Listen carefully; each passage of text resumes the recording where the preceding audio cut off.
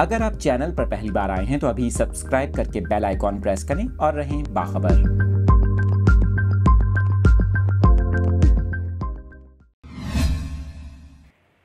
कराची से इस अफसोसनाक ख़बर की तफसीत आपके साथ शेयर कर रहे हैं। आपको बता रहे हैं कि शहर कायद के इलाके गुलिस्तान जौहर ब्लॉक फोर में लड़की को हरासा करने वाले मुलजिम की मज़ीद फुटेजेज़ और तफसीत सामने आ गई हैं। आपको बताएँ कि गुलिस्तान जौहर ब्लॉक फोर में ये अफसोसनाक वाक़ पेश आया था, जहाँ गली में अबाया पहनकर गुजरती लड़की को एक ओबाश लड़के की जानब से हमला करके शदीद हरासा किया गया। आपको बताएँ कि इस हवाले से पुलिस हुकाम का ये कहना है कि ये वाक़ सुबह साढ़े ग्यारह से ग्यारह चालीस के दरमियान पेश आया था।